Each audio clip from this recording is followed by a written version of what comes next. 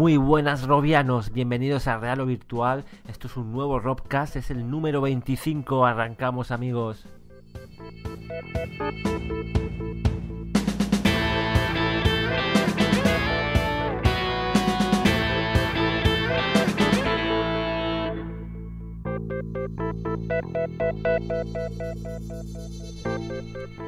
Y después de unas semanas intensas, esa tormenta que ha generado la, GDC, eh, volvemos un poquito a la calma. Muy buenas, Ramón, ¿qué tal? Muy buenas, Alejandro, muy buenas, Robianos. Pues sí, ha pasado la GDC, ya volvemos un poco a la rutina, pero bueno, eso no quita que, que no sigan saliendo cosas interesantes y que vete a saber lo que va a pasar de aquí a unos meses, cuando empiecen a llegar esos prototipos, esas unidades de desarrollo de HTC Vive. Y bueno, también ha habido noticias interesantes por parte de Oculus, que han confirmado la doble pantalla y también que utilizan lentes Fresnel. Y nada, y en la charla de hoy yo creo que va a ser una charla muy interesante porque contamos con Alfonso del Cerro, eh, creador de Megaton Rainfall, que está actualmente en desarrollo, un juego que tendrá soporte para realidad virtual. Y bueno, Alfonso ha estado en la GDC ha probado HTC Vive, ha probado Crescent Bay, ha probado Virtuis Omni.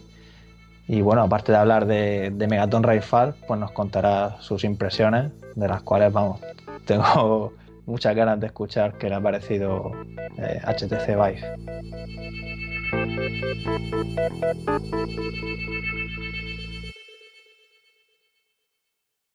Tiempo de noticias, empezamos hablando de hardware, lo hacemos de Phil Real. En la GDC eh, se presentó una especie de, escafandra que la podemos acoplar a nuestro HMD, que lo que hace es simular olores, humedad, viento, frío, calor. ¿Y cómo lo hace? Lleva una especie de, cartuchos que genera siete ambientes, en concreto un océano, una jungla, fuego, hierba, pólvora, eh, flores, metal. Y bueno, esto no hace otra cosa más que ayudar a, la inmersión que, todos buscamos. Para ello lleva pues ventiladores, lleva motores de vibración y mm. yo qué sé, habrá, que probarlo, yo creo que... Sí, sí, pero son, son 250 dólares ahora mismo el kit de desarrollo, que en teoría se enviaría este mismo verano. Eh, tiene intención de sacar una campaña Kickstarter pues para abrir o así. Y bueno, en principio, como has dicho, para cualquier HMD, incluso Gear VR. Pero yo no sé, tiene que ser peso pluma, ¿no? Porque si le añades esto también al HMD, más peso todavía. Y bueno, y la sensación de calor con el HMD puesto y todo. Yo, yo la verdad es que en este caso, o sea, lo demás pues bueno, puede estar bien, pero yo le desactivaría el calor. Hombre, los ambientes que trae, la verdad que son así muy genéricos, pero yo que sé, por ejemplo, el metal en un juego de, yo que sé, de, naves, el, la, de la pólvora en explosiones, el océano, si hay agua, eh, si hay un campo, el tema de las flores. no sé. Eh, yo que sé, yo me gustaría probarlo. Sí, no, eh, hay que ver, porque así de primera parece raro. Y bueno, y hablando de cosas raras o un poco inusuales, pues os traemos una noticia de, de Stones que vuelve a la carga, ya, ya hablamos de ellos hace, hace unos meses. Y bueno, en este caso ya han lanzado su campaña Kickstarter y se trata de un andador. De aquí viene lo de raro, porque la forma de andar pues no, no es la habitual, no lo podemos comparar con Virtuis Omni o con Cyber Virtualizer. Básicamente lo que es es que nos ponemos unos sensores, uno en cada pie, y entonces con el movimiento, digamos, subiendo los pies, eh, tiene unos sensores inerciales y es lo que hace que, en el juego andemos, básicamente. Yo, bueno, como todo, habría que probarlo, ¿no? Para ver si de verdad... Un par de podómetros y lo, mueves ahí, que lo puedes hacer sentado o de pie, pero la verdad es un poco extraño, sí. Sí, sí, no, y y bueno, el precio son unos 99 dólares. Y, nada. Ah, está en campaña aquí que Kickstarter, pero se han marcado 100 mil dólares. La verdad es que lo tiene un poco difícil, porque le queda. Les quedan 17 días y. Y bueno, pero quién sabe, estas cosas al final, a última hora, puede llegar. Mucha suerte, sí, tiene que llegar alguien muy gordo. Sí, sí, sí. Seguimos con inventos, os hablamos ahora de Roto. Se trata de una silla en campaña Kickstarter, que bueno, para los que los andadores os supongan un esfuerzo físico demasiado grande, pues aquí podéis jugar sentados. Lleva unos rotores, unos motores que hacen girar en. hacen giros de 360 grados sin, sin límite. Eh, hasta 35 revoluciones por minuto, no está mal, tiene cierta, cierta velocidad. Y en cuanto al uso, muy diverso, lo podemos utilizar para jugar. Eh, tiene, como dos pedales abajo para, para, simular como un gamepad. Podemos andar, podemos eh, como si fueran aceleradores de, de, coche. Luego podemos acoplarle delante, lleva como una bandeja, podríamos poner unos mandos, un volante se podrá utilizar para, para experiencias, tendrá su, su, código, se podrá programar, imaginaros una película que la silla vaya, vaya girando. Si veis el vídeo que hay en, la, en nuestra web, eh, podéis ver las reacciones de la gente y son, son bastante curiosas. Sí, sin duda, pinta interesante, pero como todo esto hay que probarlo. Es como el Stone, o sea, puede parecer una idea rara, pero quién sabe, lo mismo se reduce el tema del mareo, ¿no? Por el tema del giro.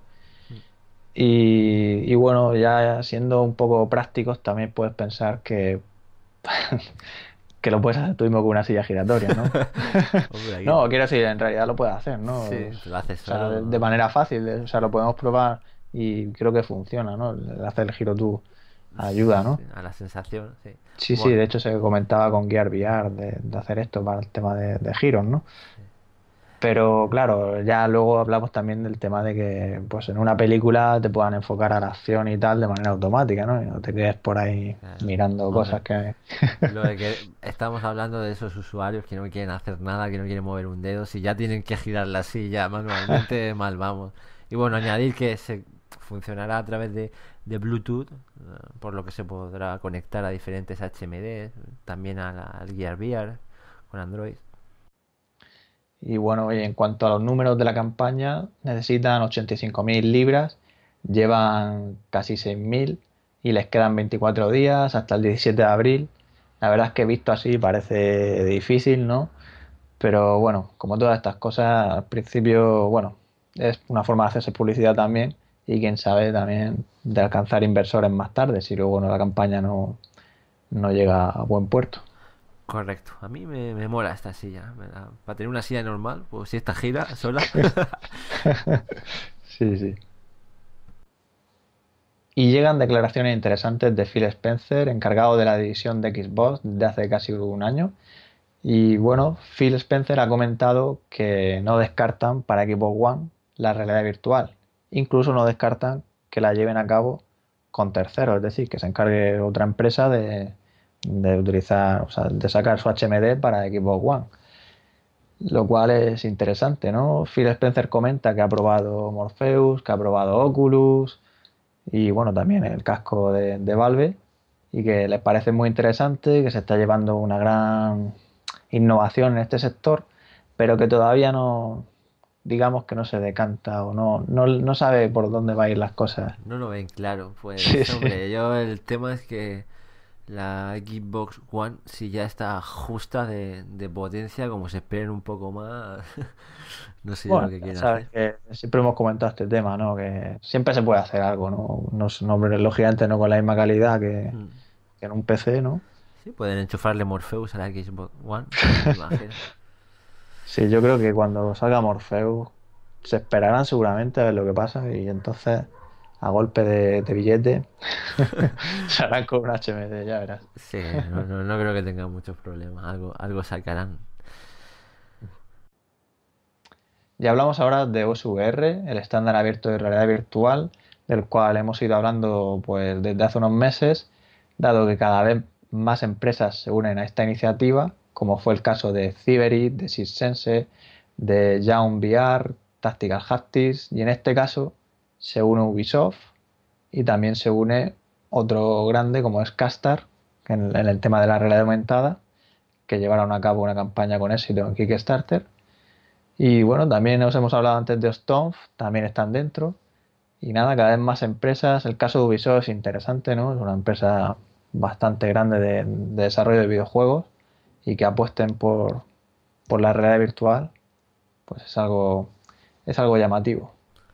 Sí, sin duda tenemos muchas esperanzas en este, en este proyecto, porque va a ser en principio, lógicamente, más barato que, que por ejemplo, la competencia que Oculus o, o el casco de Valve.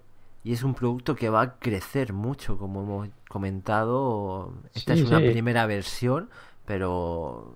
O sea, Y, y que será modificable totalmente. Quiero decir, los planos están ahí, tú te lo puedes bajar, puedes creártelo ya mismo y no esperarte a junio. Pero bueno, para correcto. eso también tienes que controlar bastante.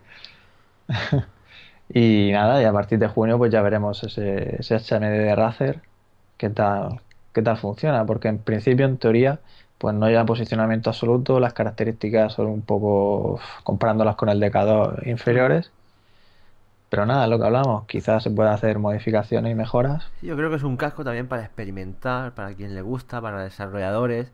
Yo que sé, imaginaros cogeros eh, Kinect e intentar trabajar con el posicionamiento absoluto eh, con este casco. Yo creo que la imaginación al poder aquí.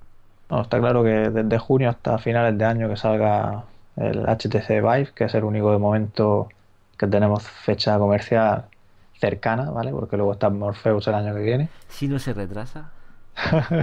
Sí, sí, ya, ya veremos. Así que bueno, puede ser interesante hacerse con él. Bueno, y hace poco eh, tuvo lugar una conferencia de Oculus en un evento llamado SXSW como, como se llame, en la que participaron Palmer Luckey y Nate Mitchell. Y bueno, se sacaron bastantes cosas interesantes, entre ellas lo de la doble pantalla que va a utilizar Oculus. Eh, parece ser que no, no es una cosa que han hecho ahora de repente por el, por el tema de, de Valve, sino que estaba ya pensado hace, hace un año. También han confirmado que utilizarán eh, lentes Fresnel, que bueno, ahí sí que han corregido un poco su, su error, a, a pesar de que al principio decían que no utilizarían este tipo de, de lentes, han comentado que la, la realidad virtual eh, evoluciona y que, y que han optado por, por utilizar este, este tipo de, de lentes. eh. Otro punto importante es que no se tratará de una plataforma cerrada eh, sobre Facebook o el Oculus eh, Store, sino que en principio estará abierto y podremos eh, instalar aplicaciones en otros sistemas operativos, seguramente también a, través de Steam. Así que eso es una, buena noticia, esa confirmación oficial. Sí, sin duda. Yo, a ver, no, no me parece mal el tema de doble pantalla o de, o de las lentes Fresnel. Aquí lo que importa es la experiencia y si eso es la mejor forma de conseguirlo, pues adelante. Pero sí que es verdad que parece, da la sensación de que el CV1 se aleja de este año. Es que yo creo que como mucho, quizá lo que consigamos este año sea una fecha de salida, pero ya para finales, ¿no? Quién sabe. Quizá lo hagan antes de que salga la venta HTC Vive para que te plantees si comprarlo o no. También han hablado sobre el tema de los controles. Eh, no han dicho gran cosa, pero sí que han afirmado algunas cosas, como que será imposible tener un, controlador estándar para la realidad virtual debido a, la, variedad de, juegos o de experiencias que podemos encontrar. No es lo mismo jugar a un simulador eh, de vuelo que a un juego de conducción, que jugar a un arcade. Lo que sí que comentan es que estaría bien a la, a la hora, por ejemplo, de jugar a un simulador como Elite Dangerous o Star Citizen, es que podamos ver eh, nuestros dispositivos, ya sea de manera real o digitalizando algún sistema, por lo que parece ser que están trabajando en, en esa dirección. Eh, también le gustaría ver un poco el tema de, de las manos. Eh, yo creo que eso es muy importante porque también es cierto que aunque te puedas aprender lo- los botones, jugar a, a- oscuras con, con tus jotas y no, no poder saber qué botón estás pulsando eh, es importante. Tienen que buscar algún tipo de, de solución. Mm, Sí, sí, yo creo que comenta eso de, de hacer una mezcla ahí entre realidad virtual con, con tu realidad, ¿no? De- del JAS o, o tu volante, ¿no? Y eso me parece muy interesante, ¿no? Porque ahí es cuando de verdad vas a decir, joder, estoy dentro, ¿no? O sea, estoy tocando el volante que estoy viendo y, lo, y, lo- y es igual, ¿no? Y reacciona de la misma manera. Quiero decir, las manos se mueven a la vez que yo las muevo, ¿no? Todo eso para que no te, el cerebro no diga, guau, te, te, salgas de la... no consigas esa presencia buscada, ¿no? Sí, y luego finalmente también hablan un poco de, de Oculus Story Studio, así que que nadie se asuste, van a seguir trabajando más en el tema de la realidad virtual, de los cascos. Al parecer solo de momento un 2% de los recursos van destinados a, a este tema. Pero son muchos recursos, ¿eh? Sí, un 2% de, de Oculus ahora mismo no, tiene que estar nada mal. Hablamos ahora de la gran estrella de HTC Vive. Y bueno, sabéis que en principio esos, esos kits de desarrollo deben aparecer en, en primavera, aún no hay fecha oficial, no hay nada oficial, pero aparece un rumor en, en USA Today que dice que al parecer habrán unas 1.200 unidades que se enviarán a desarrolladores, a universidades, a prensa especializada. No sabemos si, si es verdad, pero si eso es así, desde aquí, desde lo virtual, hacemos ya una petición oficial para que nos envíen uno y, nada, a, ver cómo, a ver cómo queda esto. Sí, importante que empiece ya a funcionar por ahí, a llegar más impresiones y que la gente empiece ya a desarrollar experiencias. Y bueno, yo creo que aquí más de uno se, se olía un poco el tema, y es que el director ejecutivo de, HTC, Jeff Gattis, ha comentado que el precio de, de, HTC Vive va a ser más caro que la competencia. Aquí por la competencia entendemos que en principio que se refiere a Oculus Rift que, bueno, Oculus Rift eh, siempre dijo que quería que su producto incluso que fuera gratis o sacarlo a precio de coste, ¿no? O, que rondara unos 200, 400 dólares. Algo que, bueno, si lo ponemos a comparar con el precio del DK1 o del DK2, pues no me parece caro de cara a la experiencia que, que, que te ofrecen. Que ofrece, sí, exactamente. Pero claro, aquí es que lo que comentan y un poco mm, jodido, ¿no? por decirlo así, es que, claro, como son los primeros y los que van a empezar a sacar el tema, pues no van a tener mucha sensibilidad de cara al precio. Lo cual yo me parece que es uno de los fallos también de, los 90, ¿no? O sea, que quiero decir, los HMD que había en aquel momento, aparte de que la tecnología no, no, no la podemos comparar, lógicamente, pero también tenía unos precios muy grandes. Y claro, tú no te planteabas comprarte eso a ese precio, ¿no? Y luego también ya, ya no solo no solo es eso, es que de momento no, no van a ser dispositivos autónomos como será en un futuro. En un futuro no, no necesitaremos para nada el, ordenador, eh, cada vez van a ser más, más potentes. Pero ahora mismo es que tienes que tener un ordenador o tienes que tener la Steam Machine. O sea, compra mm. el casco, compra ese ordenador, ese hardware adecuado para, para mover esos 90 hercios, los que, los que le pongan. Y, bueno, ya lo hemos comentado muchas veces que la realidad virtual son los inicios y va a ser cara, así que sí, sí, no, preparando la cartera. Yo es que lo, lo que trato de decir es que para cualquier, o sea, no, para los entusiastas está claro que aunque sea financiándolo como sea, al final, pues nos vamos a hacer con él, ¿no? Pero claro, yo me refiero a otro tipo de personas que lo miran con curiosidad esto de la realidad virtual pues si le dices que se tienen que gastar, es como el Gear VR, ¿no? O sea, si tienes que gastar 800 y pico euros, o sea, 600 pues de teléfono más 200 y pico, pues puedes tirar para atrás, ¿no? Sí, que por curiosidad no te vas a comprar un ordenador, no te vas a comprar una Titan y no te vas a comprar este casco. No, no, no, es que al final se te va la fiesta a 2.000 euros o, o más. Me refiero en total, del equipo y todo, ¿no? El casco, pues, por apostar, no sé, yo diría por lo menos 600, ya que dicen eso. Bueno, esperemos que, que Valve haga como en Navidad y en verano y saquen sus ofertas de Steam y el casco también rebajado. todo, todo. Que por cierto, me he metido hoy en Steam y ya, ya están anunciando ahí su, su mando que, saldrá en principio en, en noviembre de, de, este año.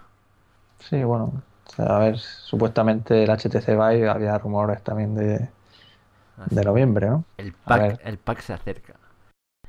Toca ya tiempo de hablar de software y de videojuegos. Empezamos con nuestros amigos de Valve, que ahora ya son amigos otra vez de, Oculus, y es que han actualizado el Steam eh, VR al SDK 044 de, de Oculus, así que son, son buenas noticias, vuelven las conversaciones, vuelve el diálogo. Sí, y además esta nueva versión añade soporte para los controladores de realidad virtual de Valve, Lighthouse, y también incluye una aplicación llamada Hello VR, que es el Hola Mundo de realidad virtual. Es una especie de sala con cubos en la que podemos movernos y utilizar el posicionamiento absoluto. Y bueno, lo interesante es que sigue funcionando con, Oculus Rift. y nada, esperemos que, siga así, a ver en qué queda esto, porque el, el tema de los SDKs habrá que ver cómo evoluciona. Lo digo por el tema del estándar, ¿no? Contacto casco al final.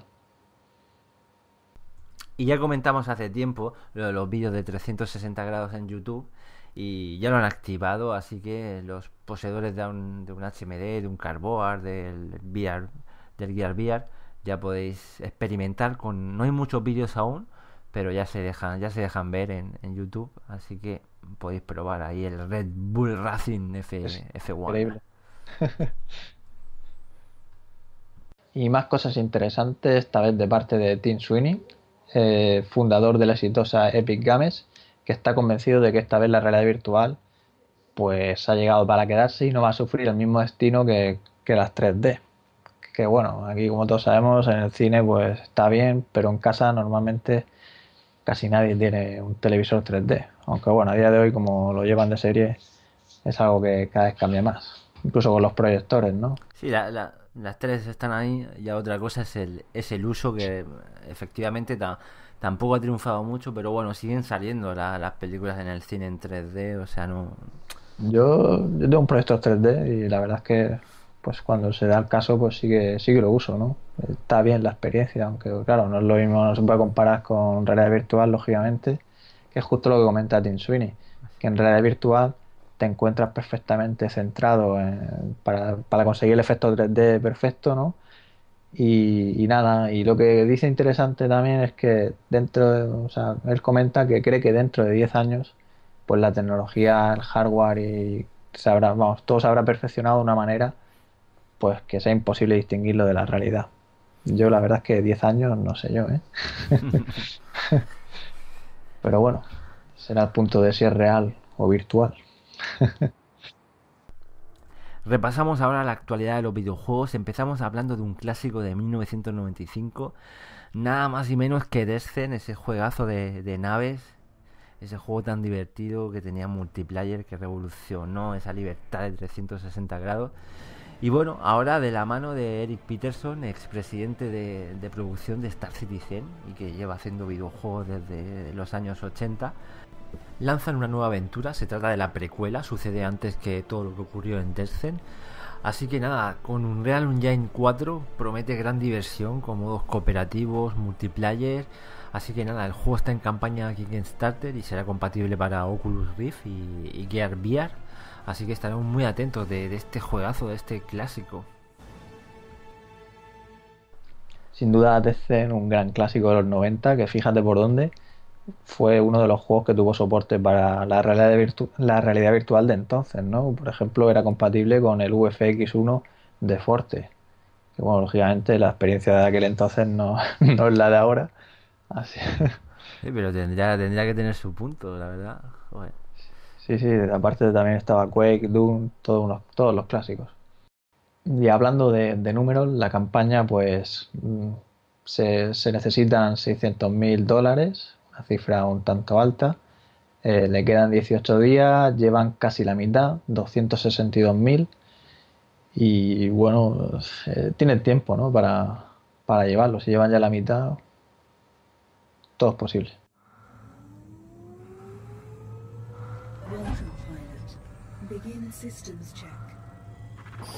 Navigation systems online. online. Engines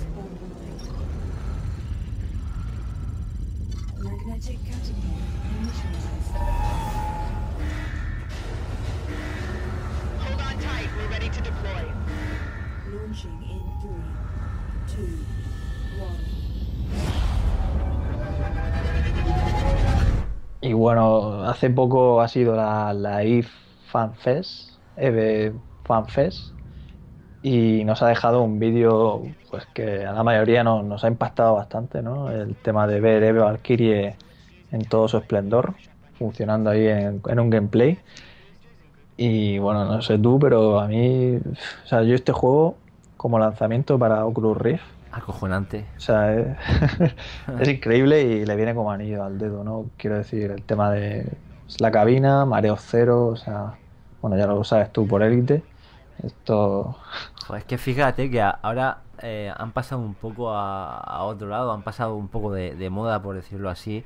Eh, juegos tipo Quake o cuando jugamos a, a un Real Tournament. Y esto, dentro de que son naves, me ha recordado a, a eso, a esa velocidad, ese pinta, pinta alucinante. Sí, Una- sí, unas lo- batallas, eh, vamos a poder jugar. lo que parece es eso, que no es tan simulador quizá como puede ser élite o... Arcade del 15, vamos. Claro, exactamente, que, que a, a fin de cuentas es lo que mucha gente busca, ¿no? Sí, O sí, va a ser divertidísimo. acción, acción y a saco.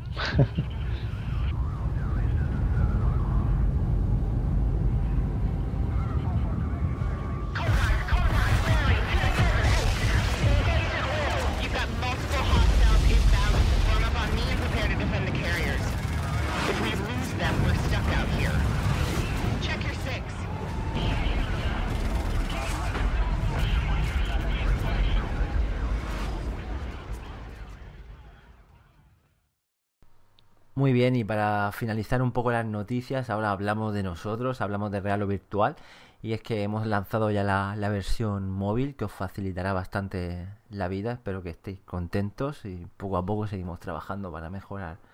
Sí, sí, Esta yo desde luego, desde luego lo estoy porque me suelo conectar bastante con el móvil también y se, se agradece mucho el poder leer sin estar haciendo zoom ahí, que es justo lo que... ah, es un poco lío, ¿no? El zoom ahí, ver... A, pesar de los pedazos de móviles que tiene más de uno, la verdad que no, para leer un texto a gusto se, se agradece esta, estas mejoras. Y bueno, también estamos mejorando la base de datos, eh, seguimos con ello y bueno, pronto ya anunciaremos más novedades de cara a este aspecto.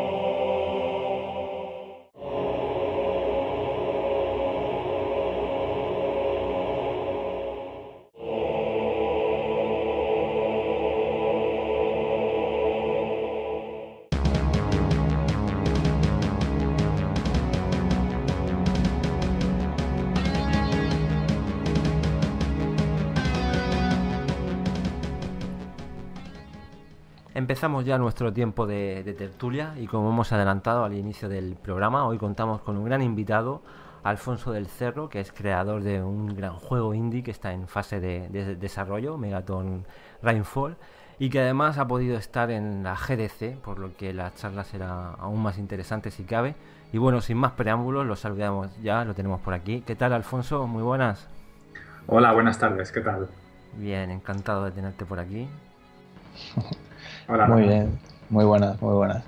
Pues bueno, ya sabéis lo que voy a preguntar, que es la pregunta clásica, y es pues nada más y menos que de dónde vino, de dónde surgió ese interés por, por la realidad virtual, ¿no? Porque Megaton Rainfall va a tener soporte para realidad virtual y cuál fue pues el primer dispositivo, el primer casco de realidad virtual que, que pudiste probar. Bueno, pues eh, la primera vez que probé la realidad virtual fue en el Oculus DK1. Básicamente, pues bueno, yo trabajaba antes en, una empresa en Madrid, que se llama FX Interactive, y uno de mis compañeros, Mario, eh, pues eh, se había comprado el, el, el Development Kit 1 de Oculus Rift para hacer sus demos y demás. Un día se lo llevó a la oficina y claro, ahí pues armó un revuelo, todos quisimos probarlo. Y a mí, pues, eh, me encantó. O sea, tuve una sensación muy chula. Lo que menos me gustó, evidentemente, en el DK1 fue la baja resolución que tenía, pero, pero bueno, probé diferentes demos, eh, la montaña rusa, el, el Titans of Space, este, las demos clásicas, sí. el buceo. Y esa fue mi primera experiencia. Y, y sobre el interés por meter la realidad virtual en mi proyecto, en realidad yo empecé a trabajar en Megaton Rainfall hace ya más de tres años y sin tener la realidad virtual en mente, por supuesto, pero el- básicamente en septiembre del año pasado decidí que eh, mi proyecto se adapta mucho a, a- Sí. a la clase de experiencias que son eh, pues más atractivas en la realidad virtual, pues porque, en fin, porque la diversión viene de ver las cosas que ocurren a tu alrededor, es muy visual y, y entonces en ese momento pues decidí implementarlo en Megaton Rainfall. Ujú. Joder, Has dicho FX Interactive. Me- buenos Sí. recuerdos me trae. ¿Sí? ¿Y eso? No, no, por los juegos que, que sacaban y tal. Es que no me acuerdo Ah. mismo el nombre, pero había uno así que era parecido a Diablo, ¿no? Que El Sacred. el Sacre, se en. Sí, sí, sí, grandes, Joder. grandes horas. Pues la verdad es que yo no he jugado Sacred. Un gran juego, un gran juego. Yo trabajaba en el departamento de, de desarrollo, entonces los juegos que publicábamos de otra gente pues los llevaban en otro departamento y tal. Y yo creo que al Sacred no he jugado, no sé concretamente. Como podemos ver en tu web, llevas tiempo en el mundo de, de los videojuegos, llevas ya más, más de 10 de 10 años en el, en el sector, ¿no? Sí, la verdad es que he estado trabajando en FX Interactive, pues eso, en 10 años, en, en haciendo programación de, bueno, de los diferentes proyectos que teníamos y tal. Y ahora has optado un poco por la, la vía que está ahora un, un poco de, de- de moda, entre comillas, estos juegos indie que, que están triunfando, que son muy interesantes. Sí, eh, bueno, yo, eh, yo creo que es, a lo mejor desde, desde el éxito del Minecraft y otros juegos, siempre ha habido una parte de mí que decía, ¿por qué no te haces indie y haces un, juegazo para que eh, millones de personas lo compren? Te haces multimillonario, etcétera, etcétera. el objetivo Pero, ¿eh? pero nunca, nunca me atreví a, a- a intentarlo, a dejar la empresa, hasta que, bueno, pues se juntaron otras circunstancias, la empresa ya me iba tan bien, en, en fin. El caso es que el año pasado ya me decidí a este proyecto que lo había empezado ya, digo, hace tres años, en mi tiempo libre, me decidí a dejar la empresa y a terminarlo, a ponerme full time con ello. De hecho, ahora mismo ya llevo un año entero trabajando a tiempo completo en Marathon Rainfall y lo voy a terminar cueste lo que cueste. Y desde el momento la verdad es que estoy contento porque, eh, bueno, lo he estado enseñando desde hace relativamente poco, pero eh, pues tengo mucho, mucho feedback positivo. Eh, También no, en el GDC y mis amigos, etcétera. Nos habría gustado probarlo, ¿no? Pero claro, yo por los vídeos que he visto, que, que he visto dos, el teaser pues está muy bien, la música la verdad es que me ha encantado y bueno, y la idea del juego, el concepto en sí, pues y más en realidad virtual, ¿no? A quien no le gustaría ser Superman, ¿no? Por decirlo así. Sí, todo el mundo compara el juego un poco con, con un simulador de Superman. Mucha gente hace el comentario de, oh, Megaton Rainfall es el, el- el juego como tendrían que haber sido todos los juegos de Superman, que por alguna razón históricamente no han sido muy, muy buenos como otros Sí. juegos de superhéroes. Y, y sí, la verdad es que, que le Bueno. pega mucho a la realidad virtual. Yo es que así de primeras combina elementos que me encantan, como el tema de, de los extraterrestres, ¿no? Y Sí. bueno, el tema de los superhéroes, ¿no? Pues, yo- Sí, es un poco superhéroe contra alienígenas. El- en, en Megaton Rifle tú controlas un superhéroe que, bueno, pues puedes volar a- a una velocidad absolutamente enorme, tienes un poder de destrucción masiva increíble y tienes que defender el mundo de una invasión de, bueno, pues de extraterrestres, de platillos volantes y demás. Y la gracia del juego está en que tienes tanto poder de destrucción que cada vez que fallas un disparo, mm, pues puedes cargarte eh, Media ciudad, sin ¿eh? querer, pues sí, media ciudad, edificios, rascacielos que se derrumban, etcétera. La, la verdad que, se- que es impresionante el, el sistema que, que haces de, de destrucción de, de edificios. Haces in- un poco hincapié ahí en, la, en tu web. eh, ¿nos, puedes teaser, con- sí. sí, ¿Nos puedes contar un poco de, de este sistema, cómo, cómo lo hace? Pues la verdad es que en- todo lo relacionado con renderizar la ciudad, una ciudad pues con una escala enorme y destruir edificios es algo que me ha llevado muchísimos meses. Eh, son millones de detalles y pues no sabría dónde empezar, la verdad. Básicamente todos los edificios de la ciudad se pueden destruir. Eh, cuando destruyes un edificio, pues eh, los edificios no tienen una animación prefijada, sino que la destrucción es procedural. Yo le, le quito al edificio pues un volumen de forma más o menos esférica cercana a la explosión, de forma que siempre queda, todas las explosiones son diferentes y dependiendo de dónde le des al edificio se derrumba por un lado o por otro, si le destruyes la azotea, por ejemplo, pues normalmente pues, pelas el edificio por arriba, pero no pasa nada, no se derrumba. Si disparas a la base se suelen derrumbar. Impresionante. sí. Y, y bueno, los alienígenas hacen cosas. Yo es que quería llevar la destrucción a límites que no se han visto en otro videojuego antes. Quería pues edificios cortados por la mitad, arrancados de cuajo, lanzados por ahí. En fin, cuando vas avanzando en el juego van ocurriendo cosas que dices, Dios. Qué bueno, qué bueno. ¿Y qué modo? Bueno, yo diría que es Unity, no sé si me equivoco, pero Te sí, equivocas. estoy- me equivoco, ¿ves? Mira. ¿Y qué motor Eh, utilizas? Mm, Vamos a ver, yo mm, estoy usando parte del motor que teníamos en FX. Tengo licencia para usarlo y demás. Y como después de 10 años soy, o sea, yo soy programador de motor de toda la vida. Me encantan todos los temas de render y eso. Y Unity no me gusta mucho porque me parece que los juegos que he jugado hechos con Unity en mi portátil pues no tienen un rendimiento como a mí me gusta. Y yo sabía que en este juego pues quería pues recrear ciudades enormes con miles de edificios en pantalla, miles de vehículos, de peatones, miles de objetos y no quería usar Unity para, para hacer el juego porque me parecía que no iba a ir lo suficientemente fluido. Y pues nada, como digo, a mí me gusta mucho el render, me gusta dedicar tiempo a, a desarrollar mis propias eh, pues técnicas de render para crear las explosiones, efectos nuevos y demás. Entonces para eso necesito con acceso total al código fuente y por eso he utilizado, pues ya digo, parte del motor de FX y otras librerías eh, por ahí. Unreal lo descarté simplemente porque cuando empecé el juego Unreal no era barato para indies. Claro. O sea, esto lo hicieron hace, hace poco.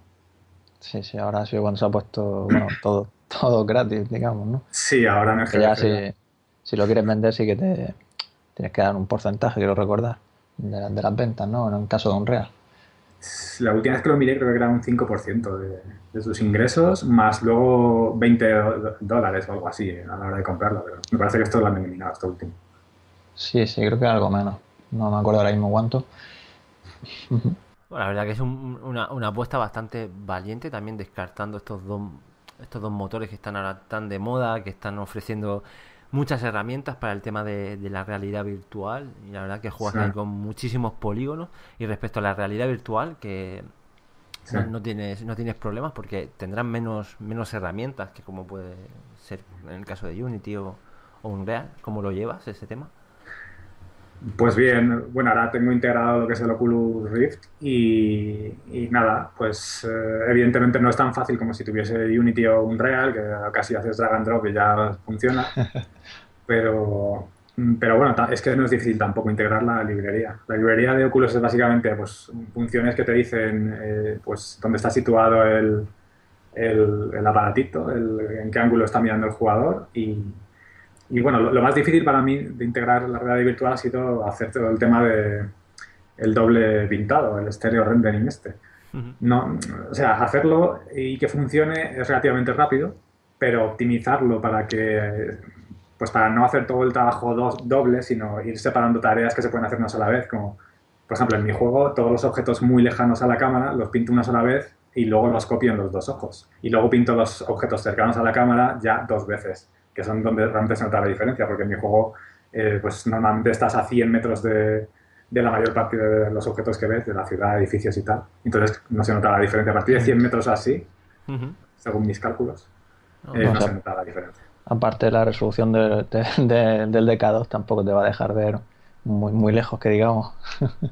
No, pero suena Mm. súper interesante porque son muchos los problemas ahora con el tema de- del rendimiento, de llegar a, a X eh, frames por segundo y, Sí. y la verdad que está bien que lo, que lo solucionen como de esta manera, una programación más, más bruta, digamos, no con tanta herramienta. Sí, sí.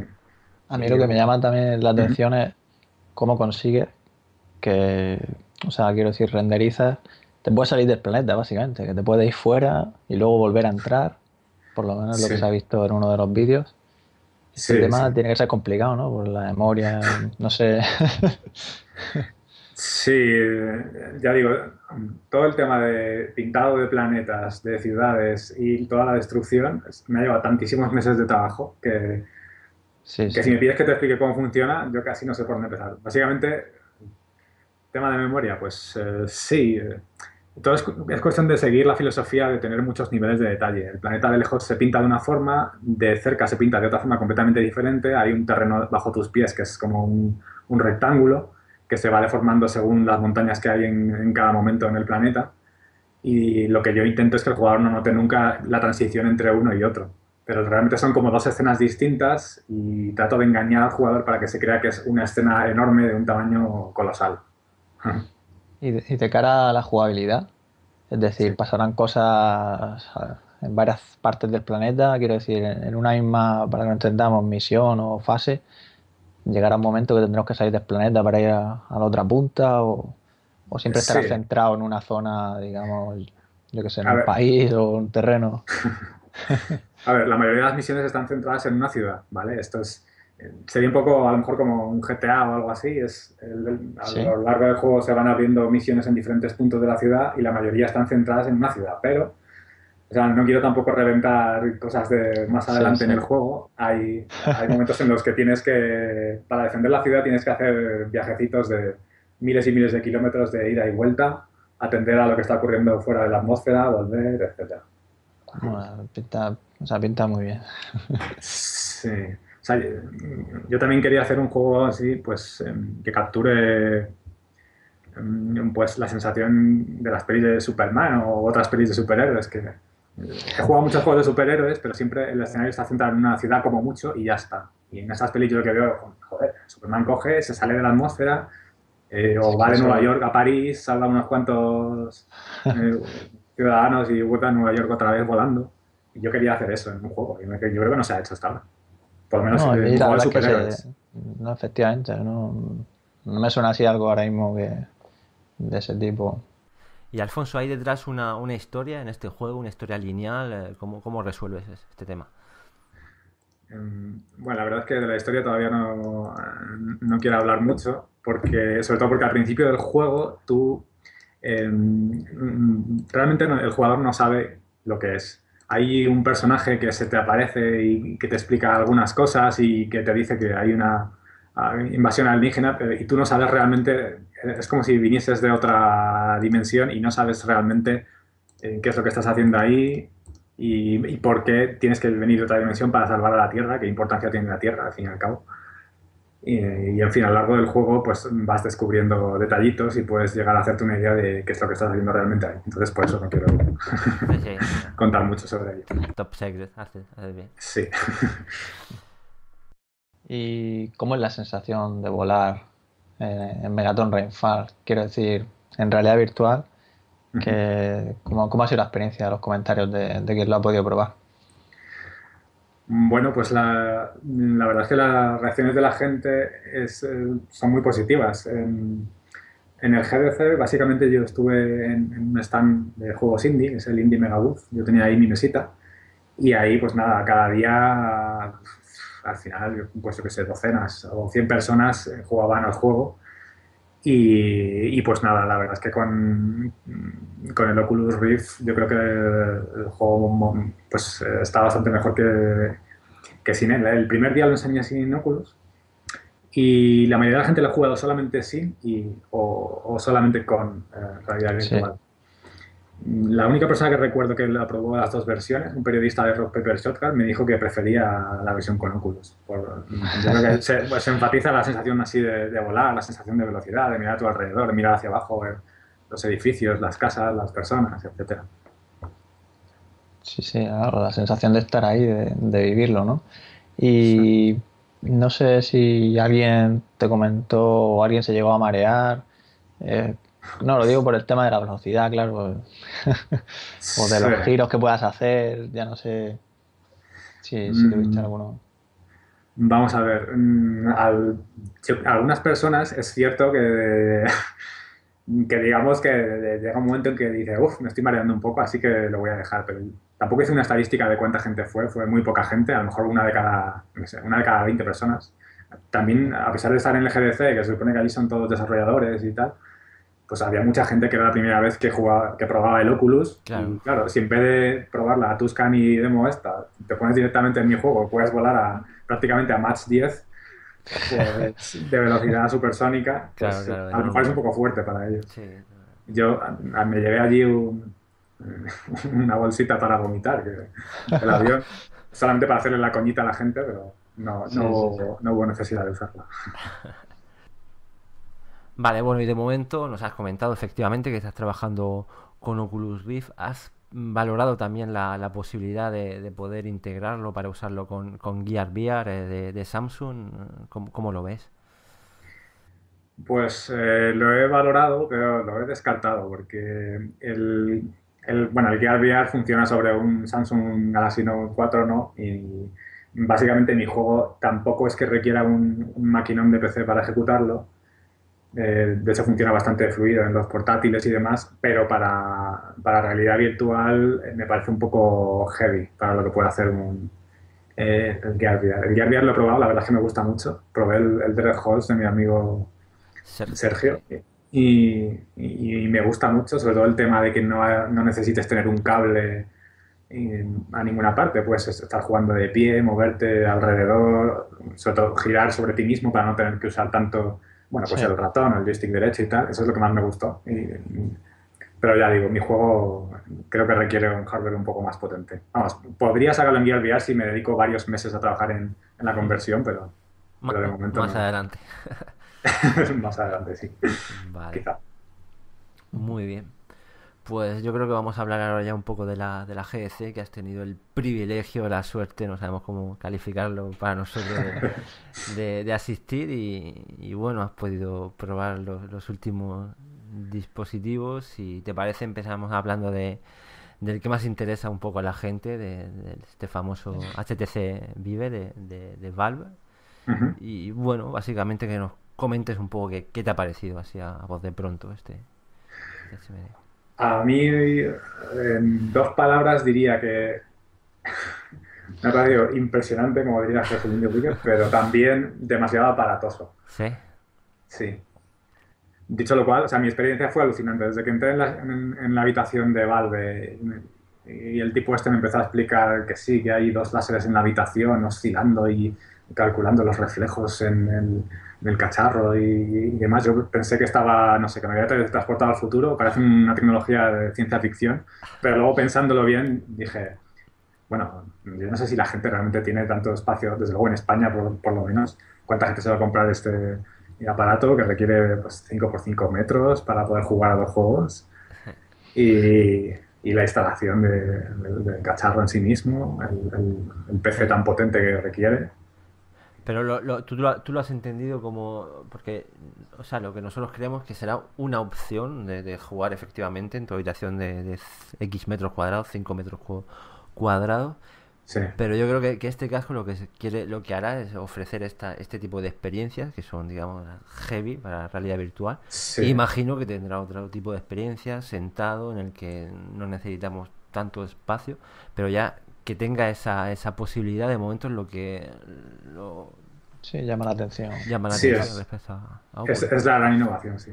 A ver, todas las demos que probé allí, que, bueno, la, la demostración duró pues a lo mejor un cuarto de hora o algo así, fueron varias demos y todas ellas eh, se centraban en el tema este de un escenario de más o menos 25 metros cuadrados donde tú podías caminar de un lado para otro viendo cosas. Ajá. Había, eh, bueno, pues el- empieza el tema en, en una especie de escenario virtual donde cuando te acercas a una baldosa, la baldosa se mueve, luego pasan a otra que estás en, en un barco hundido, estás en la cubierta de un barco hundido viendo dos peces alrededor y, y una ballena al fondo y tal, el tío te dice... eh, camina, camina, o sea, el tío te está animando continuamente para que Sí. te muevas y compruebes la, la Sí, sí. innovación, que es lo que ellos ofrecen y Oculus no. Y luego el- otra demo que recuerdo que estaba muy chula era, bueno, también era mucho más interactiva que las demos que, que probé en el Crescent Bay, porque como el HTC Vive este incluye dos mandos para, bueno, pues para las manos, de- sensores de movimiento y tal, pues había una demo que era de cocinar. Estás en una cocina, te van sabiendo los ingredientes que tienes que coger del armario, dejarlos en otro sitio y demás. Masterchef. Todo con- Sí, Masterchef virtual. Y además, pues, eh, motor de física, tal, coger las ollas, romper el huevo. El huevo, curiosamente, no se podía cascar contra la mesa, sino que tenías que... Mira, no me acuerdo lo que hice. Creo que se me cayó una al suelo y se rompió. En fin. El- pero, en general, las demos... eh, también usaban los mandos estos para, bueno, pues para distanciarse un poco de lo que Oculus ofrece y ofrecer una, pues una experiencia más interactiva. Había otra demo también interactiva que era de, de pintar en 3D. Tú estabas en la habitación que empezaba vacía y podías eh, pintar, eh, pero en medio del aire. O sea, imagínate que, que pintas, pero la pinta se queda flotando en el aire y puedes hacer figuras, círculos, cuadrados. Hubo un momento en que decidí escribir mi nombre y escribí mi nombre ahí en medio del aire. Y además podías cambiar el color de la tinta que reducía y tal. Eh, estaba chulo lo que hacían con, con la interactividad de los mandos. Pero, eh, pero nada, el único problema que le veo es. Yo creo que va a ser más caro que, que el Oculus por todo- todos los temas que incluye y que tienes que ponerte y que instalar. Y, y, y, bueno, el tema de que este tipo de experiencias que requieran tanto espacio, pues. Pues eso. No estoy muy seguro de, No, es una de que la gente vaya. Claro, es una apuesta arriesgada, lo hemos comentado ya muchas veces. Ellos Sí. miran lo- los usuarios que hay, cómo juega la gente, gente que juega en el sofá con tu mando medio tirado, otros que juegan en, en ordenador. Y ya otra historia es efectivamente tener un- una habitación entera, vacía, dedicada, dedicada a ello. Ya hay muchos que se echan la mano a la cabeza, por ejemplo, con, con un andador, o ya una habitación vacía. A ver cómo le explicas a, a gente que viene a tu casa que, que son esos dos aparatos que tienes colgados ahí y esa habitación vacía. Hombre, yo, yo me imagino, yo desde luego si me lo comprase, creo que lo pondría en el salón, ¿no? Y la idea sería quitar las mesas del medio del salón mientras lo voy a usar y luego volverlo a poner todo en su sitio. Sí. No sé, a lo mejor esto se, se pone de moda y en el futuro todo el mundo tiene dormitorio, Claro. salón, cocina y la habitación muy buena, yo qué sé. Hacen del pánico. eh. Pero ahora mismo yo desde luego creo que sería esa la forma de usarlo. Ya has comentado que, que es aparatoso, ¿no? Y dentro de, de lo aparatoso que es, ¿resulta cómodo una vez que te lo pones? Mm, la verdad es que en la demostración que me hizo el, el señor este de Valve, él estaba todo el rato asegurando que yo no me enrollaba en los cables y demás, porque hay un cable que va al casco. Y luego en esta demo eh, los mandos no eran inalámbricos, sino que había un cable que iba del casco a cada mando. El tío al principio me explicó que, bueno, pues que en la versión final los mandos que tienes en las manos serán inalámbricos, pero el cable de la, el cable de las gafas yo creo que va a seguir ahí, o por lo menos esa impresión, esa, esa idea tengo. Sí. Entonces, si te pones a caminar libremente dando vueltas por la habitación, yo no sé lo que va a hacer. Te puedes cable. pegar una buena leche, sí. Ya digo, no estoy seguro. A lo mejor el, este señor se refería a- también al, al cable de, de las gafas y ya tienen algún sistema para transmitir la imagen en tiempo real, sin lag y todo eso, pero me parece a mí que no, no. No, eso será difícil. No, tendrán que buscar algún tipo de, de fijación en, en el Claro. techo y que el cable esté siempre en suspensión. Al, Sí. Vamos, habrá que formar ahí una, una buena para jugar, sí. Porque vamos, yo el tema del inalámbrico, no sé, que yo sepa, creo que no se ha dicho nada de eso. Y no sé, no, no creo que de primera vaya a salir. No, no, solo... so- Eh, No creo, no En creo. principio se ha hablado de los mandos, efectivamente, sí, pero Claro. lo, lo que es el, el HMD, vamos. Y en Ajá. cuanto a una vez que te pones el HMD, eh, es fácil ver nítido. Quiero decir, sabes que, por ejemplo, con el DK2, eh, el radio de- del que ves nítido en las lentes, pues un poco más. Vamos, que te lo mueves un poco y ya no ves bien, que es más. Supongo que con las lentes Fresnel de, de este casco, pues será más, más fácil, ¿no? Mm, yo, el- la nitidez de la imagen, tanto el HTC Vive como el, el Kelsen Day, que, que lo probé allí también en el GDC, me parecen muy superiores al DK2. De hecho, yo creía que tenía una resolución bestial y enorme. Luego me enteré de que, por lo que parece, pues son dos pantallas que tampoco tienen mucha más resolución comparada con el, el DK2. No. Pero mi sensación fue de una gran nitidez y, y yo creo que no tuve ningún problema de, de, de ver borroso. ¿Sabes lo que pasa también? Que como he trabajado mucho en el DK2, a lo mejor hay movimientos que yo hago inconscientemente y que ya no me doy cuenta de si los hago o no los hago. ¿Sabes? A, a lo mejor lo ajusté y no me acuerdo de que lo ajusté, pero ya digo, no recuerdo ver borroso en ningún momento ni con el DK2, ni con el, perdón, ni con el Vive, ni con el Crescent Bay. Entonces, el efecto rejilla en el caso de, de- de- del HTC de, de Valve, eh, menor, ¿no? Sí, sí, mucho menor, mucho menor. Ya digo, no sé si es por la resolución Sí. O por las lentes, o tal vez. por las lentes. Ya digo, a mí me pareció que la imagen era mucho más nítida que el DK2, mucho más. ¿Y el tema del FOV? ¿Notaste diferencia con el DK2? Mm, no te puedo decir, no lo sé. Hombre, lo Yo- normal yo creo que que- eso... Yo creo que más o menos igual, si no, a lo mejor habría notado más la diferencia. O sea, de ver más por los laterales o algo así. Sí, Pero claro, no, no, sí. no recuerdo especialmente. Claro, Así si no que- recuerdo especialmente, yo creo que más o menos sería similar, ¿no? Y claro, estás ahí viendo la experiencia, tampoco a lo mejor te pones a fijarte, se te va la cabeza con, con la experiencia. claro. Además, sí, además si, si tengo que cocinar o hacer un test rápidamente, porque las demos tenían tiempo límite, si no lo, te- lo terminas en tres minutos, pasa automáticamente a la siguiente demo, porque no puedes estar ahí jugando Claro, claro, sí. todo el día. Estabas más Con pendiente cual, de, la, pues, de la estaba- cocina que del fuego. Estaba más pendiente de que no se me quemase la cocina. ¿Y has podido probar el Sense 10, los, los mandos estos inalámbricos, que son como el Razer Hydra? No, no se probó. No, era, era simplemente por, por compararlos con los del HTC Vive, por si nos podías comentar. No, no- bueno, los mandos inalámbricos de las manos, bueno, inalámbricos en la versión final, Sí, sí. eh, mm, funcionaban muy, muy bien, la verdad. De hecho, recuerdo expresamente que en un momento dado dije, bueno, voy a ver cuánta precisión tiene el sensor de movimiento Sí. este, y me puse a hacer un movimiento así en plan como si- aplaudir, o sea, mover las manos rápidamente de un lado para otro, y mi sensación fue que no había absolutamente ningún lag y que todo lo que hacían mis manos lo hacía los mandos a la vez. O sea, me pareció precisión absoluta. Vamos, Eh, que, que en conjunto el- iba, iba genial, ¿no? O sea, quiero decir, preciso. Preciso. Mm, Tuve una mala experiencia momentánea que fue que eh, mm, yo creo que hubo algún, en algún momento hubo un- algún artefacto de estos de, de captura de movimiento.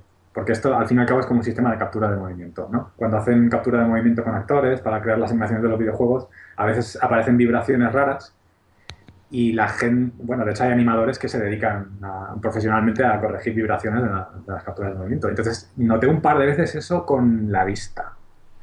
Luego le pregunté a mi amigo Sergio, que fue con él al GDC y tal, y él dice que no notó eso en ningún momento. Yo hubo un momento, o sea, estamos hablando de en un cuarto de hora, a lo mejor en dos segundos, ¿vale?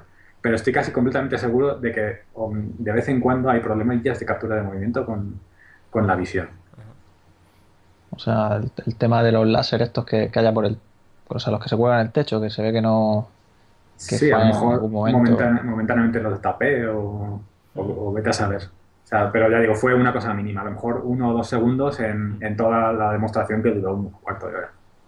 Bueno, Sí. y también hay que decir que, que esto no es la versión final. Sí, cambiará a, infrarrojos. eh. Ah, Sí, sí. pues no sé, no sé. Sí, en principio han dicho eso, que no que la versión final no vendrá con, con esta tecnología láser, sino que ah, yo supongo que será también por el precio, será más barato los infrarrojos de toda la vida que Bueno, el precio parece que le importa. No le importa mucho. Es lo que comentaban hace poco, ¿no? Que, que no va a ser, digamos, barato. Lo cual, pues, pues bueno, habrá que ver, vamos, de cara a Crescent Bay, pues, pues está bien, ¿no? Si sale más tarde, que tengan la opción de, de elegir, ya sea- aunque sea por el precio. Y por lo que dices del espacio y tal, habrá que ver. Yo creo que- Y... Sí. Sí, sí, no, di- dime. Que yo pienso que la experiencia esta HTC Vive es como el producto premium a lo mejor, que, ¿no? O sea, el, el Oculus pues te da casi toda la experiencia posible con realidad virtual y el HTC Vive un poco te da todo lo que puede hacer el Oculus y además te la extiende con estas historias de bueno, pues el control de movimientos integrado y, y el, y el posicionamiento en toda la habitación. Sí, la, Pero- la crema. Sí, es como, bueno, si te encanta la realidad virtual y, y quieres pasarte muchísimas horas con ella y tal, pues te puedes plantear comprarte el, el Steam, pero me imagino que será bastante más caro. Nada, eso se financia y ya está. Demos un riñón ahí para comprarnos el. Y hubo unas declaraciones de, de gente que lo estuvo probando allí en, en la GDC que comentaba que, que, bueno, que no... yo entiendo que como te mueves por la sala, ¿no? Pues el tema del mareo, digamos que tiene que ser cero, ¿no? Pero claro, no- nos sorprendió que, que esta persona decía que cuando se quitó el casco, no solo a él, sino a sus compañeros también, pues como que luego les dolía la cabeza o algo así. Bueno, nosotros cuando lo leímos lo pensamos como un caso aislado, ¿no? En plan, vete a saber qué estuvo haciendo este antes, cuántas horas llevaba probando cosas por ahí. que había tomado. también, Sí, sí, también lo valoramos. Yo eh, no me mareé absolutamente nada y no me dolió la cabeza tampoco al quitarme, la verdad. Yo creo que el mareo en- con la realidad virtual, yo por lo menos lo tengo asociado a, a que la cámara se mueve sin mí. O sea, en los juegos en los que tienes que mover el ratón también, o mover la cámara, Sí. es lo que realmente me marea si me paso mucho tiempo haciéndolo o me paso con ello. De hecho, tengo una mala experiencia con el Alien Isolation, que lo, lo empecé jugando con el Oculus Rift y al principio, o sea, los primeros cinco minutos fueron absolutamente flipantes. Dije, esto es el futuro, voy a jugar así a todos los juegos del universo. Pero cuando llevaba media hora o, o 25 minutos o algo así, me empecé a encontrar tan mal que dije, ya, voy a dejar, voy a jugar tradicionalmente. Pero claro, ese juego tampoco está muy preparado para la realidad virtual. A mí me pasó algo similar. Sí. Sí, sí, me pillé una buena, una buena. Con este, con el Alien Isolation. Sí, sí, sí, exactamente. Pero es que por lo que comentas, si tú haces los giros tú mismo, o sea, que tú eres el que gira a la izquierda y derecha, de hecho es lo que ha hecho Sergio Hidalgo, ¿no? Con el modo este confort de, para Sí. girar en Drijón, ¿no? Para que Sí. sea menos brusco. Sí. O sea, quiero decir, para que no sea tan. Lo hace más brusco para que no te, te provoque ese- esa, esa sensación, ¿no? Ah, es que sí, es eso lo sí. que, lo que te. Vamos, a mí en mi caso es lo que me mata. Sí, además el Alien Isolation yo, yo recuerdo que el juego tiene una especie de animación que cuando caminas hacia adelante o corres hay una especie de vaivén de la cámara que te puede quedar Ya. más o menos bien cuando juegas en, en la pantalla, pero en, en- con el Oculus es que te mata porque tienes la sensación de que el mundo se mueve y tú no y, y Sí, el, sí, cerebro se da cuenta de que algo no va bien y empieza a activar los mecanismos de te has envenenado, vomita. Es lo desagradable en cuanto que ya entras entre raíles o, o te apliquen algún filtro, alguna cosa que efectivamente queda muy bien en la pantalla, pero en, en Oculus todo eso sobra. eso es- Sí, sí, sí.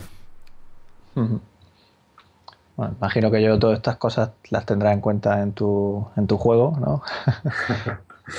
La verdad es que en, en mi juego tengo un par de dilemas sobre cómo implementar la realidad virtual y últimamente, de de hecho, he cambiado completamente el control con la realidad virtual desde la versión que llevé al GDC.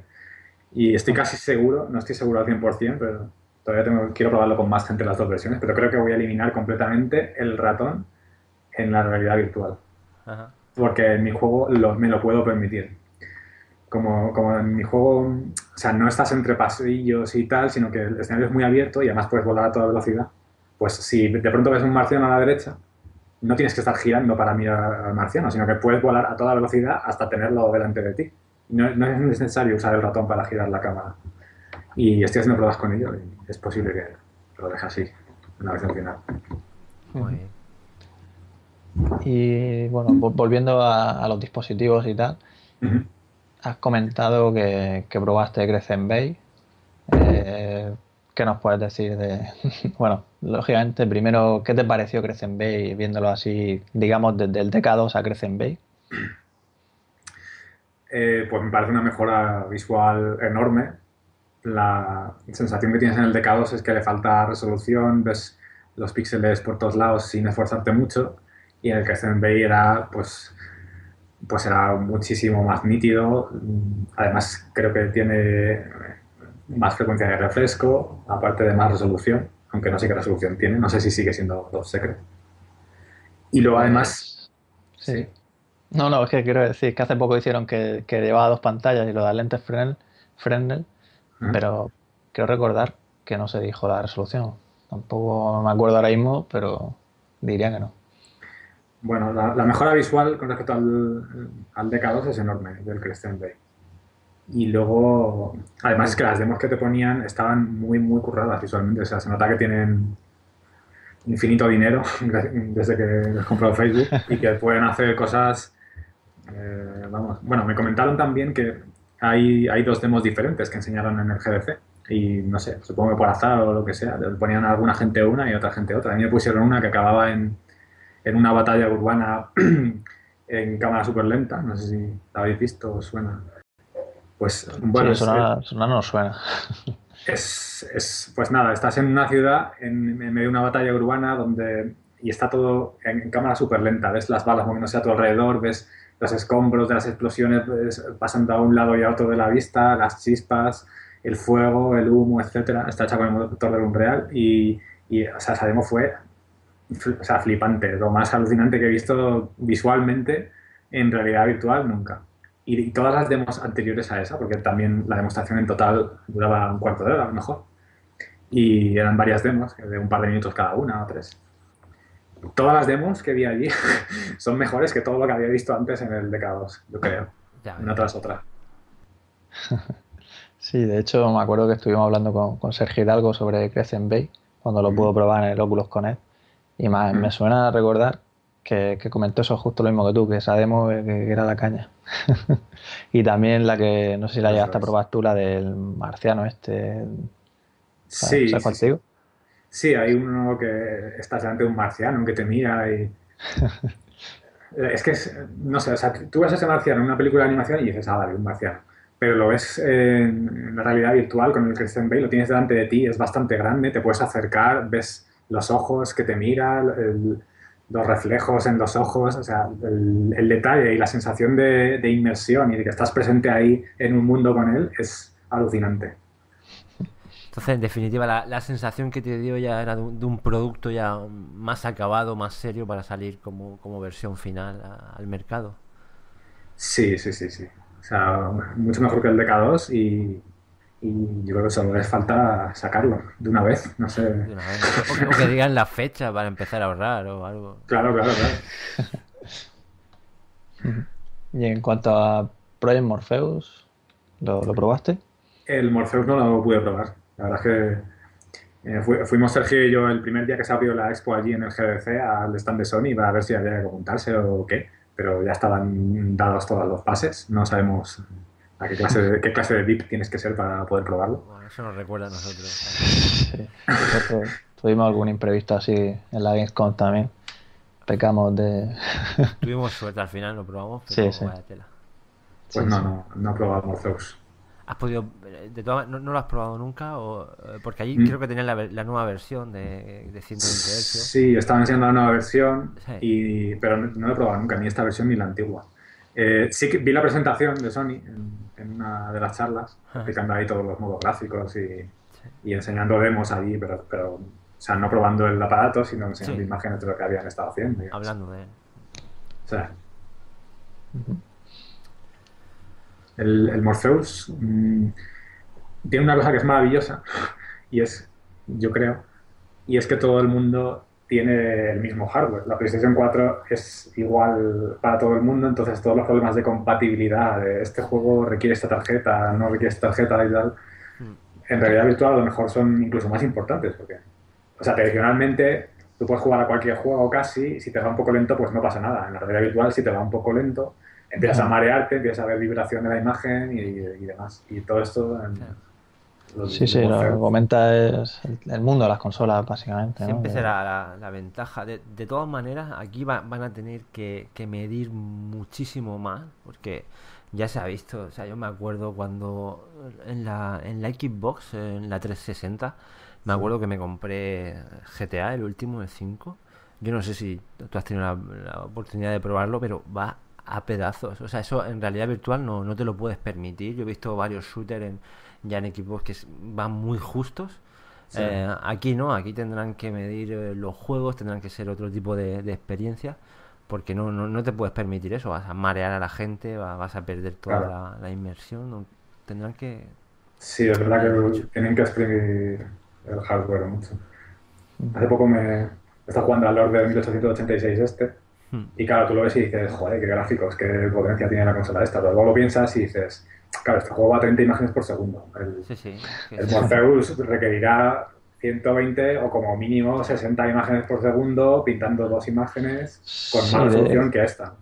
De hecho, creo que, que hace una técnica de como de interpolar los frames, ¿no? Que para llegar de los 60 a los 120, que vamos, que ir a 120, a no ser que sean experiencias Sí, más recortadas. ¿no? El, el- el del- el de Sony en la presentación habló de cinco, hasta cinco modos distintos de funcionamiento. Uno de ellos era eso, de ponerlo directamente a 120 imágenes por segundo. Pero eso, eso yo creo que se lo van a poder permitir muy pocos juegos. Y el, el que más gen- el que más gente usará probablemente sea el de pintar 60 imágenes por segundo y el propio cacharro parece ser que tiene un hardware específico que te hace la reproyección según el movimiento de la cámara para que convertir 60 imágenes por segundo en 120. Claro. Luego, Sí.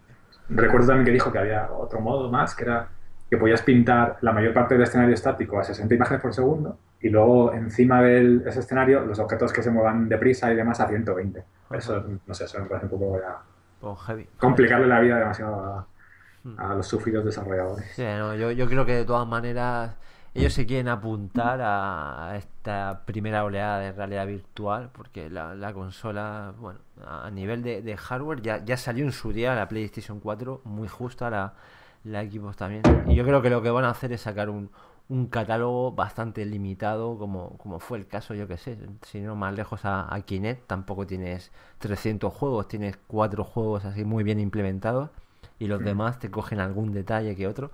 Y aquí yo creo que pasará igual, tendrán un pequeño catálogo de un juego, yo que sé, de tenis, otro juego de no sé qué, y, y ya está.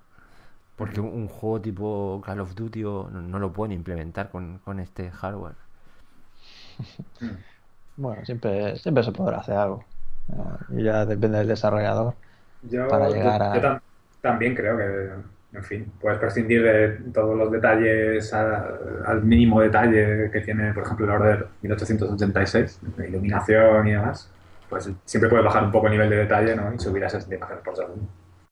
Y puestos a, a soñar, si te hubieran dejado llevarte el Crescent Bay o el HTC Vive a tu casa, ¿cuál te habrías llevado? y no vale los dos. Eh, a ver, el HTC Vive parece más caro, así que es una apuesta más segura. Pero yo creo que, o sea, yo si me tuviese que comprar uno u otro, ahora mismo me parece que es más razonable el Crescent Bay. Por esto de... Por el tema o sea, de- el, de el la valor añadido, sala, ¿no? eh, sí, el valor añadido que te da el HTC Vive es, yo creo que es muy difícil que, que la gente lo vaya a aprovechar bien. Y además es que, o sea, para un desarrollador, mm, pues eso, hacer un juego que utilice bien el, el tema del espacio de 5x5 metros es una cosa que te obliga a rediseñar el juego. O sea, cualquier experiencia que pienses normal, pues un Call of Duty o un juego de coches o un simulador espacial y tal, pues no, no necesitas eso para nada. En mi propio juego, en el Megaton Rainfall este, yo qué hago con 5x5 metros. si tú estás volando, pues Ya.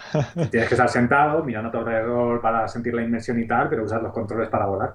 No necesito... Estaría bien ahí saltando en tu juego ahí, 5 metros, te, te puedes cargar el universo entero ahí, un salto. Claro, es que en tu juego quizá no, no es el ejemplo, ¿no? Quiero decir, porque estás volando, ¿no? Ya de por Sí. sí no, o sea, la, la, la inmersión, ¿no? O sea, quiero decir, no, no, tú vas a andar, no vas a volar. Entonces, claro, estará más pensado a juegos en los que vayas andando, lógicamente. es como si te pones a jugar Sí, un juego de coche, un juego de o sea, coche de- en una sala, ¿qué haces? ¿No? O sea, Ya, no, te, va- te pones tú a correr. es que tam- tampoco has dicho juegos en los que estés andando, pero un Call of Duty tampoco va a hacer uso de... ¿no? Salvo que esté un, un minijuego pensado para Claro. un escenario así de pequeñito, entonces sí. Pero al Call of Duty o al Battlefield no puedes aprovechar ese- esa va, característica. Pueden hacer alguna experiencia de defender algún punto, Claro. alguna historia así Sí. rara. El modo si no, es zombies que este de Call of Duty. La gente se comería las paredes, se pegaría una, unas leches ahí. Sí. Vale. Bueno, yo creo que a- hablando un poco del tema de moverse y tal, también has tenido la, la oportunidad de, de probar eh, andadores, ¿no? Eh, Virtuix Omni. Sí, el Virtuix Omni sí que pude probarlo.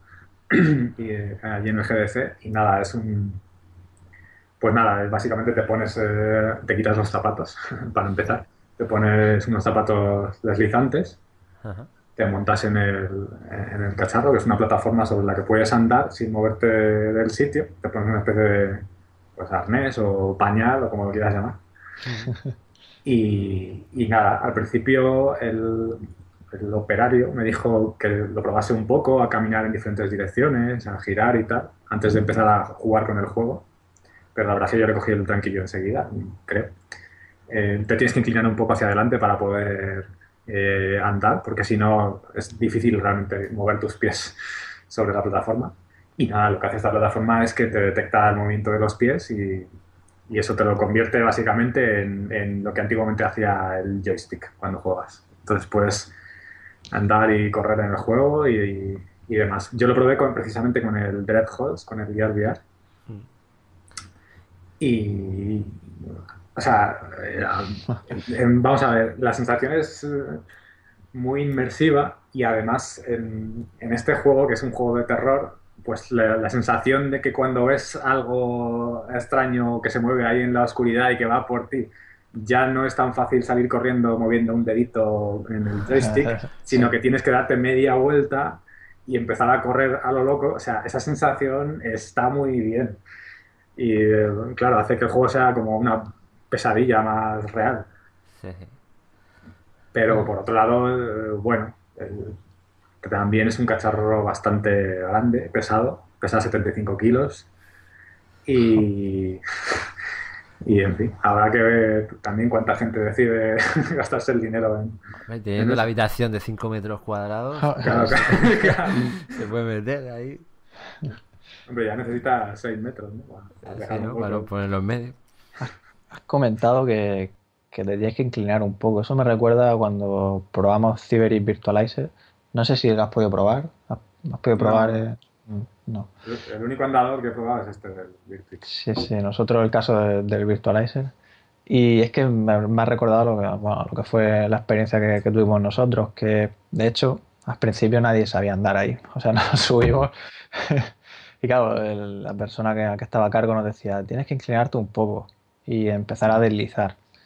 Entonces, claro, lo de inclinar mm, se hace natural, quiero decir, tú cuando lo aprendes de verdad es como andar o, o es un poco luchar ahí contra, es lo que hablábamos, ¿no? Que parece que vas Eh. luchando ahí contra, no sé. Yo, no, vamos a ver. O sea, yo me vi, o sea, yo lo probé y también vi a, a mi amigo Sergio y reconozco que a Sergio se le dio un poco peor que a mí el, el tema este. O sea, yo veía y era como que es que si no te inclin- inclinas el peso hacia adelante no eres capaz de deslizar todo el pie hacia atrás. Y eso él Sí. no lo cogió. Yo sé que él, por ejemplo, él no, no esquía. Es que yo recuerdo mucho, esto se parece un poco como a esquiar, ¿no? Cuando esquías, no sé si habéis esquiado vosotros esquiáis. Una vez. Eso no, no cuenta. El caso es que para esquiar bien tienes que inclinar el peso hacia adelante, porque si no los esquíes se van cada uno para donde quiere. Y a lo mejor por eso a mí se me dio muy bien. Eh, y enseguida le cogí el tranquillo. O sea, yo no tuve problemas en caminar y correr y no estaba peleándome con la plataforma, sino que enseguida estaba jugando al juego y, y girando para un lado, para otro y demás. Sí, nosotros tenemos la curiosidad porque la diferencia es que la, la superficie ahí es cóncava, en cambio en Virtualizer es, es plana. Entonces, la verdad que Sí. a pesar que también tenías estos calcetines de, de seda o de lo que fueran que deslizaban, era un poco luchar por avanzar. Efectivamente, luego al final le, le- le cogimos tranquilo, yo o sea, conseguí sí. correr incluso. Pero, ah, no sé, era, no, era, no, no era natural, ¿no? No tenías esa inercia que a lo mejor eh, esa, esa parte cóncava te la, te la puede dar esa superficie. Sí, yo me imagino que el hecho de que la plataforma esta sea cóncava hace que sea más fácil. Claro, yo cuando no he probado el Virtualizer no sabía que era plano. Es verdad que o sea, la inclinación de la plataforma pues, te ayudaba un poco a Te que ayuda, el pie claro. volviese al centro. Eh. De todas formas, mm, no sé. Ya digo, yo ya digo, le cogí el tranquillo enseguida y, y, y enseguida me puse a disfrutar del juego. Y bueno, por lo que has comentado, solo probaste Drift Hall, ¿no? Sí, solamente el videojuegos. Ellos tenían ahí. Imagino, sí. imagino que con movimiento, pues eso, como has dicho, por decirlo así, como si fuera el- el- la, la AWSD o la cruceta de- del mando, ¿no? Que no era analógico, quiero decir que si tú andabas un poco, ibas más rápido, o sea, quiero decir, cuando si empezabas a andar más rápido, eh, notabas que iba más rápido, o era todo como, básicamente, como jugar con las teclas.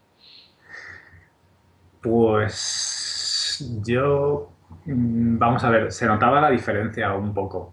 Mm, De todas formas, la, o sea, la implementación todavía no estaba al 100% bien en el, en el porque eh, en el, en el si tú movías la cabeza a la derecha, automáticamente empezabas a andar hacia la derecha, ¿vale? Sí, Aunque tú caminases hacia adelante, estabas caminando hacia la derecha. Y eso, pues, no estaba totalmente pulido, porque además, bueno, me consta que Sergio lo ha implementado sin tener el Virtuix Omni en casa, cosa que me parece alucinante, es un gran mérito por su parte. Sin haber duda. implementado la versión. Y, pero ya digo, aparte de eso, yo creo que la sensación es, o sea, es verdad que tú notas claramente que es como si estuvieses usando un joystick, que no es exactamente el movimiento que tú tendrías, ¿sabes? Si, si andas con los pasos que estás dando exactamente, no es, no, Claro. es, no es muy preciso. Pero bueno, ya digo, para darte la sensación de estoy aquí dentro del juego y, y si veo algo de lo que tengo que huir, algo que tengo que ir, tengo que ser yo mismo el que gira, yo mismo el que corre hacia adelante. Pues en fin, esa sensación estaba bastante bien. Y bueno, aparte de que el cacharro este convierte la experiencia de jugar a un videojuego en, de pronto en una experiencia deportiva. No, tienes, no puedes estar ahí mucho tiempo porque acabas agotado, claro. Sí, para, tiene que ser para cosas más tranquilas, en las que vayas andando simplemente, no, no pegándote ahí las maratones. Pero bueno, yo, yo esto te lo decía porque Virtu y Sony está desarrollando pues ellos mismos con su propio API eh, un, un juego que se llama TrauVR que bueno, que es para sacarle partido y mostrar efectivamente pues cómo es ese movimiento más analógico, no emular solo, digamos, para que nos entendamos el, el teclado, ¿no? O el pad, la cruceta, ¿no? O sea, adelante, atrás y tal. Sí, como es el caso de, Virtualizer, que bueno, hizo prácticamente lo mismo. Nos puso una demo con Tecnoluz en la que el movimiento, pues eso, incluso cuando te girabas, como has comentado, pues te desplazabas ya a la derecha. Entonces, para mí, por la sensación que me da, por lo que me cuentas, yo creo que los dos andadores van un poco a la par, ¿eh? Lógicamente tendríamos que probar Virtua y Sony y tú probar Virtualizer, pero así por lo que estamos hablando, me da la sensación de que, de que son muy similares.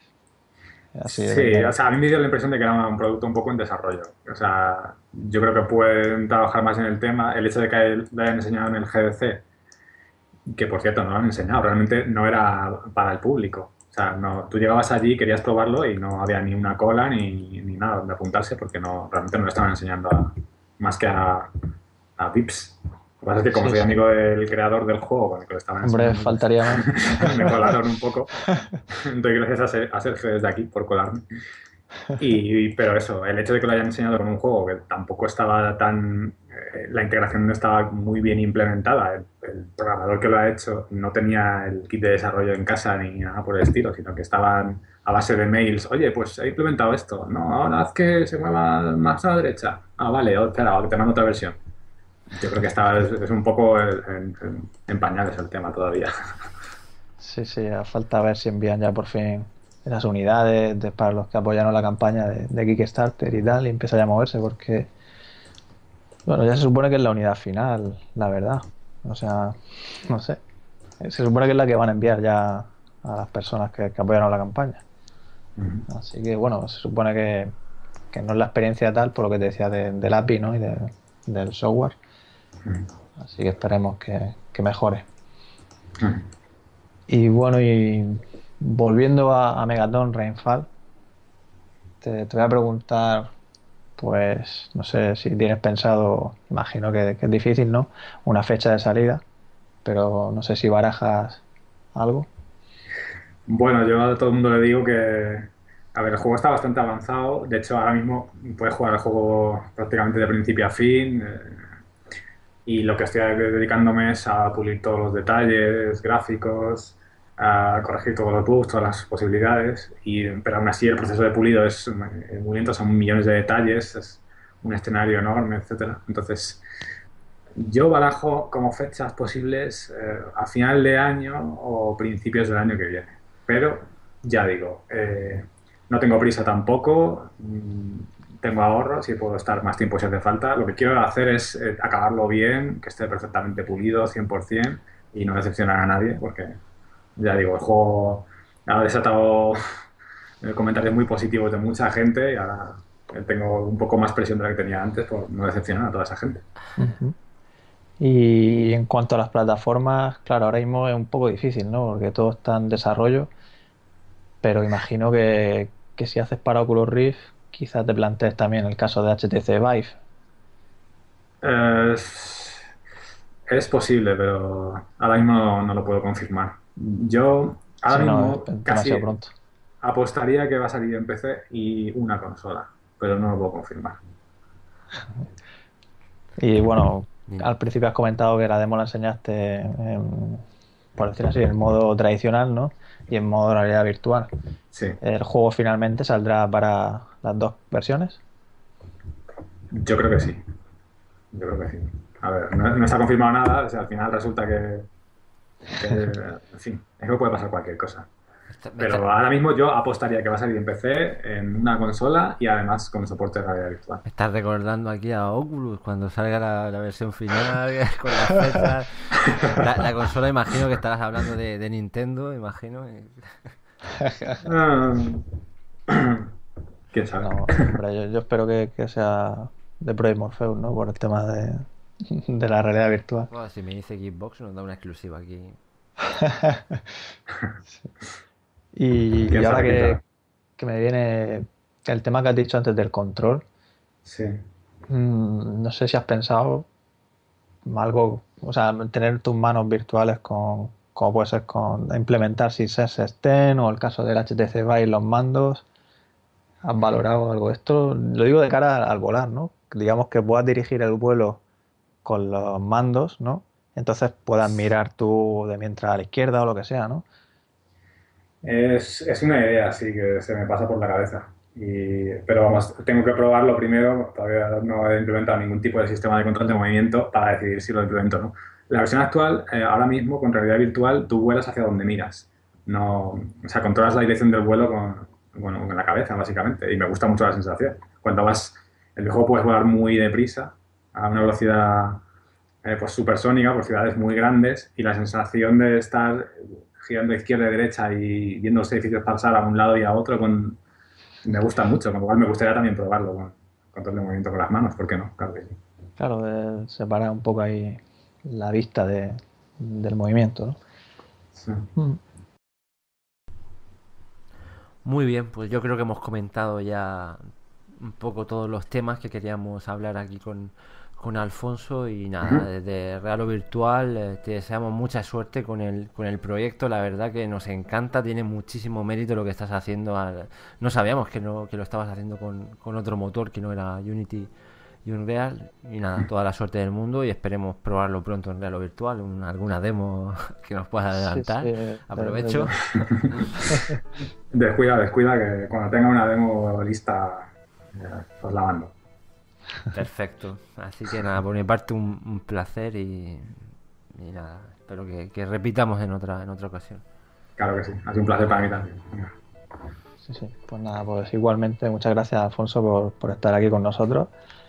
Y, y nada, y gracias a vosotros como siempre por, por escucharnos. Y ya Claro. pues nos vemos en el próximo programa. Hasta la próxima. Hasta luego, Robianos. Chao. Thank